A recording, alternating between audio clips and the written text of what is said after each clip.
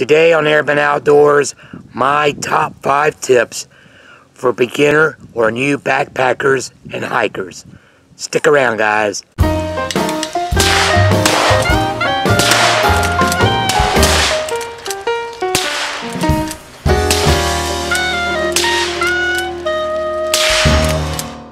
It's going to be hard to come up with just five. Wow. Hey, hey, YouTube. Welcome back to Erobin Outdoors. Hey, I'm Erobin, but you knew that, didn't you? Well, it's another beautiful day here in South Carolina. It's a balmy 40 degrees. Hey, I saw this video that I just watched earlier this morning by Max over at Hike Camp, one of my favorite channels. If you haven't checked out Max at Hike Camp, I'll put a description in the link below so you can go check out his channel. Wait, scratch that, reverse it. I'll put a link in the description section below. There we go.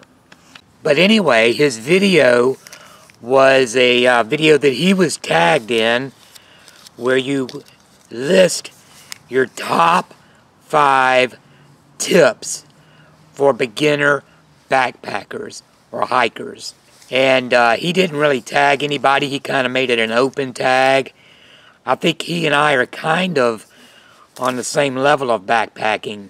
He mentioned that he's not like a, a long distance backpacker.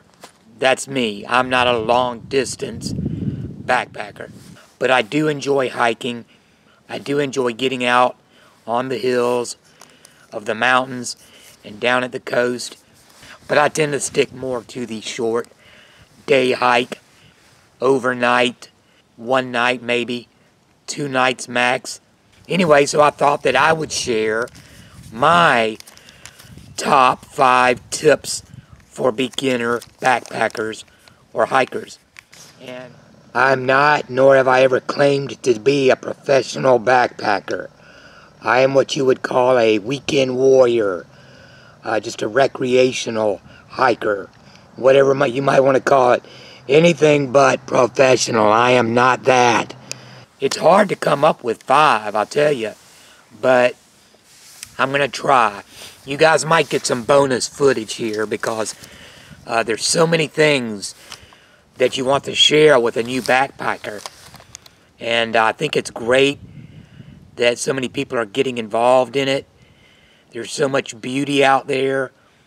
God has done so many wonderful things, and I believe that He wants us to see it. And to see it, you got to get out there and do it. So, here we go. Top five tips for beginner hiker, hikers. Um, number one, I would say shoes or boots, whichever you prefer.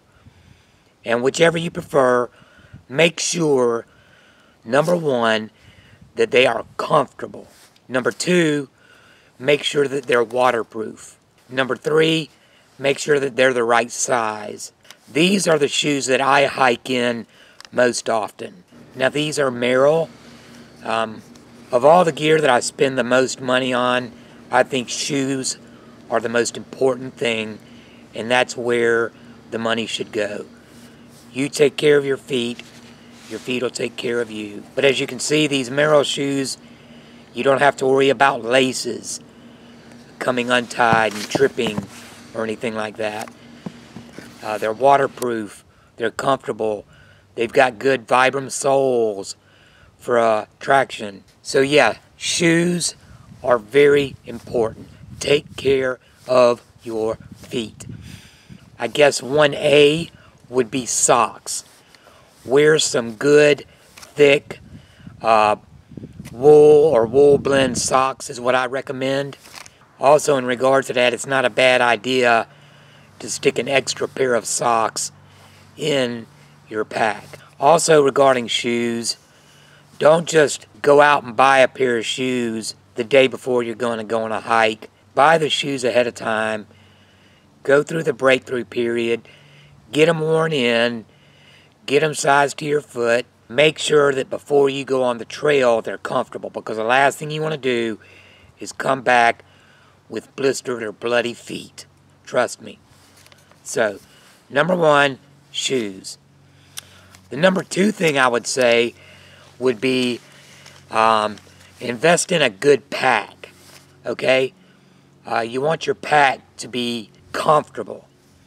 Now, if you just go to a Walmart and pick up a bag off the shelf, you're taking a chance.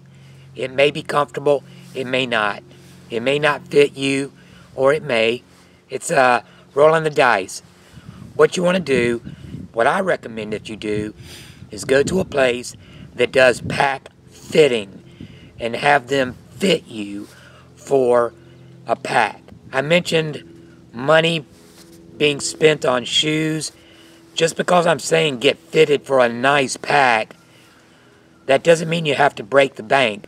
There are a lot of good packs out there that can be fitted that are affordable. For example, this is my pack of choice.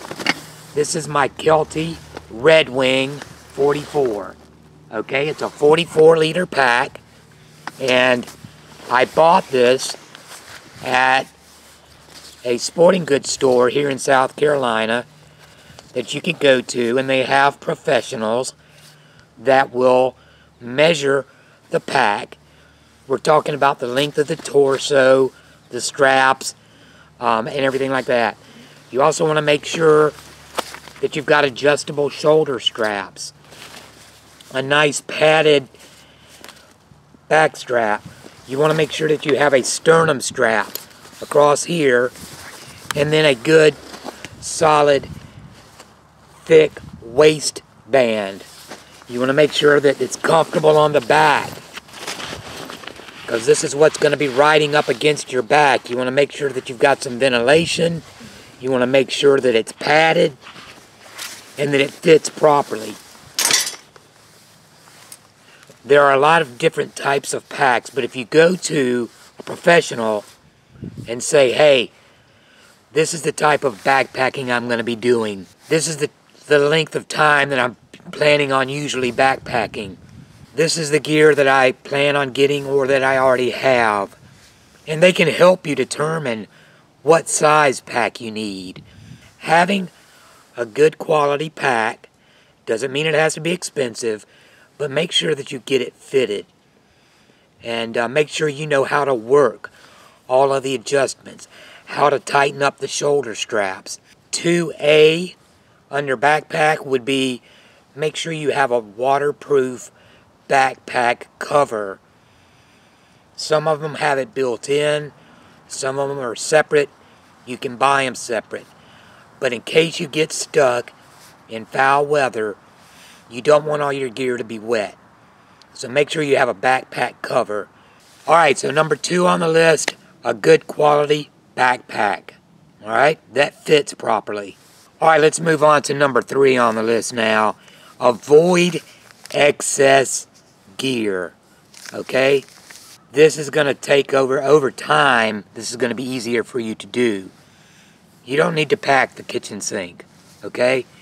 You want to make sure that you're prepared and that you have all the bases covered. And what I mean by it, it'll take a couple of times for you to go. If you have gear in your pack and you've gone backpacking three times and never once pulled out that particular piece of gear, odds are you don't need it. Avoid carrying excess stuff, okay? Remember, the more you carry, the more it weighs. The more it weighs, the more of a toll it plays on your back and your legs when you're hiking, regardless of what distance you're hiking. So, carrying unnecessary things is just really a waste of energy, a waste of space, and if you don't need it, don't take it. There's kind of a fine line there. How do I know what I need? How do I know what I don't need? Make sure you cover the basics, okay? Make sure you have food, make sure you have water, make sure you have multiple ways to start a fire, make sure that you have shelter, make sure that you have, um, well, I'm kind of jumping ahead, make sure you have rain gear. Basically, make sure you have all the bases covered, but don't carry things that you don't need. Number three, avoid carrying excess, unneeded, and unused items. All right, let's move on to number four. Number four is be prepared. I learned this back in the Boy Scouts, Cub Scouts actually, and it has stuck with me throughout my whole life. That's why I'm a prepper. And I have that same prepper mentality when it comes to backpacking. You want to be prepared.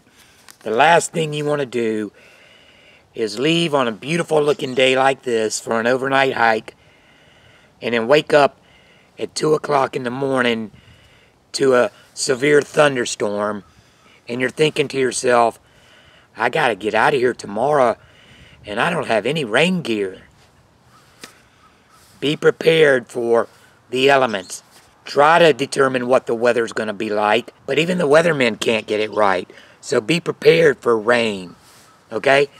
As far as your shelter goes, be prepared for rain. Make sure you have a ground tarp. Make sure you have a rain fly. Storms can come up like that. Okay? So being prepared not just for weather conditions, but also for wildlife, animals. Is the area you're going to prone to bears? In the Smoky Mountains, sometimes you can encounter bears.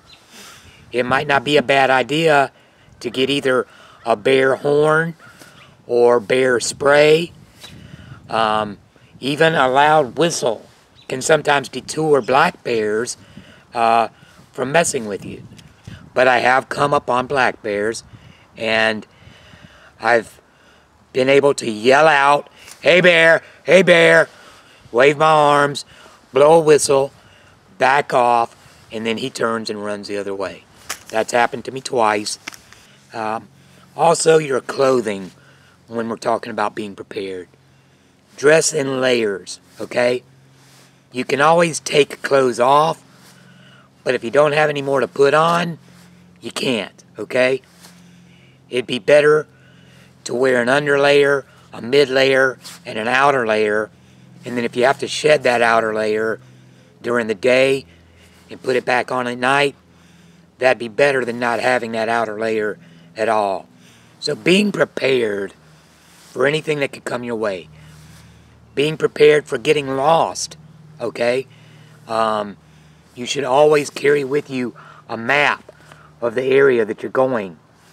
Even if you know that at the trailhead it's got an outline that shows that this is a loop and in three miles you're going to end up right back where you started. How well is that trail marked? If you're a beginner hiker, you may not know. And sometimes you can get off trail. And when you get off trail, you can get lost. So one, having a map, okay, and then two, a compass. So be prepared to be lost as well. Uh, know where you started, know where you're going ahead of time, but also have a map and a compass in case you do get off track, okay? Um, a lot of things fall under be prepared. Max made a good point. Even if you're not planning on spending the night, be prepared to, just in case. And then the last thing is have a checklist. There are a plethora of YouTube channels that give good hiking checklists. I have one. I doggone it, I don't have it with me. I have one that I had laminated. And every single time I go through that checklist, everything, as might seem redundant, but if you utilize a checklist every single time, I don't care if you've never been hiking before and this is going to be your first trip, or if you've been hiking for years. I think most experienced hikers and backpackers use a checklist. Don't assume it's in the bag from last time make sure it's in the bag. All right? So, guys, there are a lot of other tips out there, but those I think are the five most important um, for a new backpacker. Okay? Proper shoes, proper pack, avoid excess gear, uh, be prepared for anything that could happen, and then utilize a checklist. Always utilize a checklist. Alright, that's it guys. So uh, I'm going to do the same thing as Max did. I'm going to leave this as an open tag. It's important for new backpackers and hikers to have information available on YouTube so that before they go out, they can get some advice. So if you have any advice that you want to share with a new backpacker or hiker, please do so. And uh, till next time, keep calm, carry on, keep it outdoors.